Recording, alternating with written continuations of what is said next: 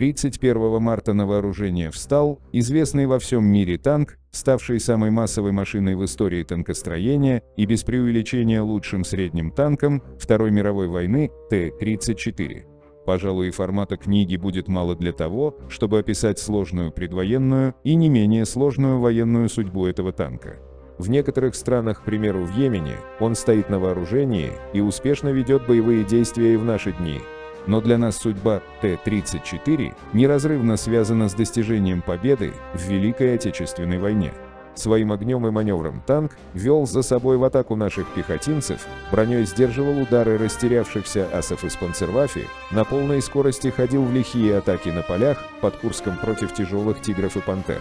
А в конце войны, наматывая на гусеницы сотни километров восточноевропейских дорог и расстреливая по пути из нового мощного орудия, уже королевских тигров, довез наших танкистов до площадей и улиц Берлина. Сегодня, в день годовщины Великой Победы, труженика боевых будней войны, мы вспомним основные этапы развития и эволюции танка Т-34, танка с большой буквы «Т». Концу 30-х годов грядущий мировой конфликт обретал все более четкие очертания, страны Европы усиленно вооружались. Со времен неповоротливых стальных монстров Первой мировой сменилось уже целое поколение бронемашин и танков, в прошлое постепенно уходили и разработки начала 30-х. Стране требовалась боевая бронированная машина, уверенно действующая в прорыве и в обороне, танки БТ, как оказалось, этого дать уже не могли. Нужна была машина, проходимая с противоснарядным бронированием, надежно держащая удар новых и гораздо более могущественных противотанковых орудий, чем немецкие 37 миллиметровые колотушки, чего не давали ни Т-26, ни Т-28, ни Т-35. Требовался современный средний танк, превосходящий тяжелые КВ в подвижности, но не уступающий им в огневой мощи и в бронезащите. Работы над новой машиной начались в Харьковском КБ завода номер 183 под руководством легендарного отца танка Т-34 Михаила Ильича Кошкина. Уже опытный в ту пору конструктор, доведший, как у нас принято говорить, до ума легкий БТ-7, с энтузиазмом возглавил работы по новому танку. Короткие сроки харьковчане предложили целых два варианта будущей машины с индексами А20 и А32. 20-й оказался легче, чем нужно, и не имел потенциала к модернизации, а вот 32-й военным понравился. Первая «Ласточка», такими словами, у стен Кремля встретил Сталин, новенькие, производившие хорошее впечатление, приземистые и крепко сбитые машины, во время их показа, высшему руководству СССР 17 марта 1940 года. А уже 31 числа танк встал на производственные линии, стране требовалось как можно больше первоклассных машин. Еще в январе 1940 года Т-32 превратились в Т-34, броня была увеличена до 45 мм и имела рациональный угол наклона, что повышало ее стойкость, а 45 миллиметровое орудие сменило мощная 76 миллиметровая пушка Л-11, которую чуть позже заменили на F-34 с лучшими характеристиками. Имелась у экипажа и пара пулеметов ДТ. Новые танки нужно было показать военным в Москве. История перегона первых двух «Ласточек» своим ходом из Харькова в Москву, вне дорог общего пользования, даже легла в основу художественного фильма, который, впрочем, больше похож на вымысел. Водители-испытатели Носик и Дюкалов, сидевшие за рычагами двух машин, все 750 километров пробега, продемонстрировали и неплохую маневренность танка перед военным руководством, также испытания танка шли в Кубинке и даже на остатках противотанковых укреплений поверженной линии Маннергейма. Лишь одно событие омрачило рождение легенды. От пневмонии скончался Кошкин, когда уже простуженный сильно промок, помогая вытаскивать застрявшие Т-34 на переправе. Его дело развития новой боевой машины продолжил Морозов, соратник и ученик. 22 июня 1941 года в танковых частях и соединениях РК имелось чуть больше тысячи новых машин. В первых же приграничных боях новая машина отличилась. Она не только показала себя с лучшей стороны в бою, но и вызвала уважение со стороны противника. Производство танков было начато лишь на двух заводах, номер 183 в Харькове, город вскоре попал в руки противника, и на СТЗ завод был изрядно поврежден в ходе боев за Сталинград.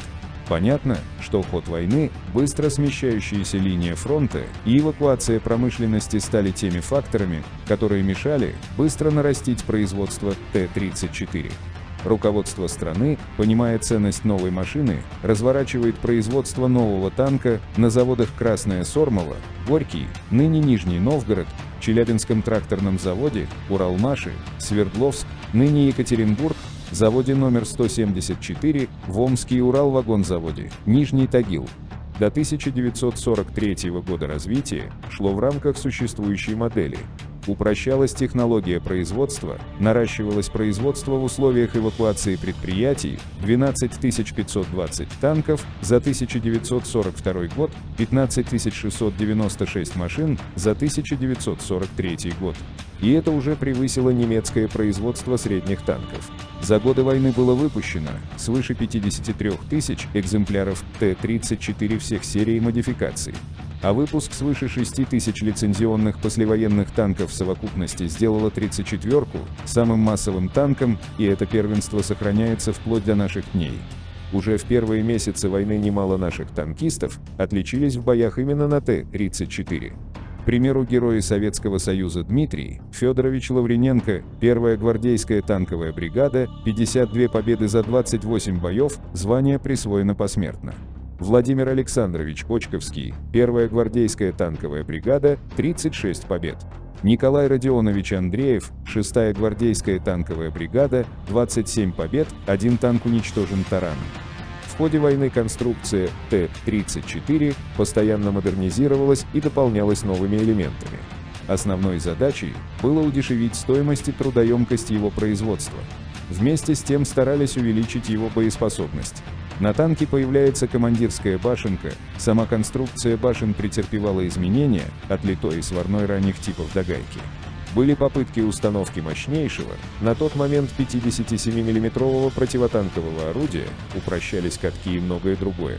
Выпускались и самоходки на удачном шасси Т-34, Су-122, Су-85, Су-100, была огнеметная версия 34 и ремонтная эвакуационная машина.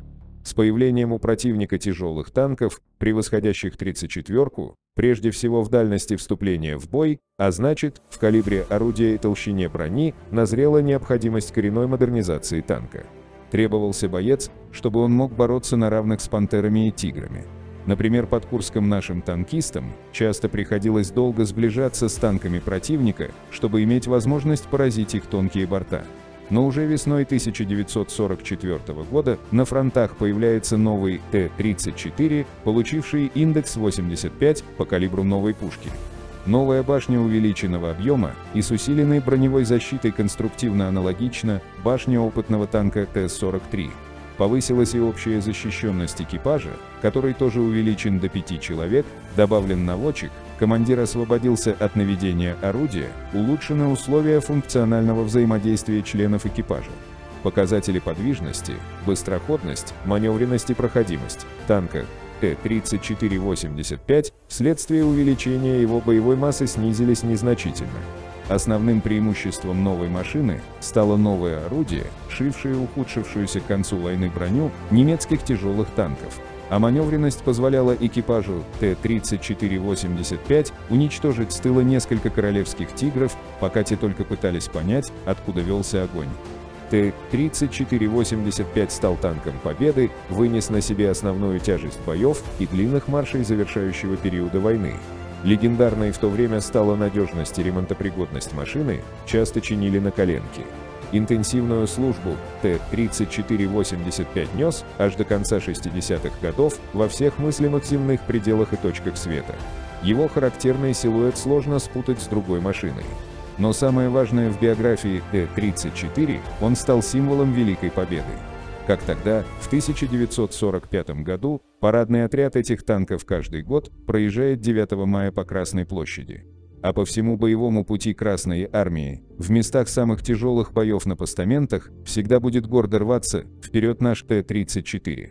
Если вам понравилось видео, поставьте лайк и поддержите канал подпиской. Для меня это очень важно. А в дальнейшем вас ждет много интересного. Встретимся в следующем видео.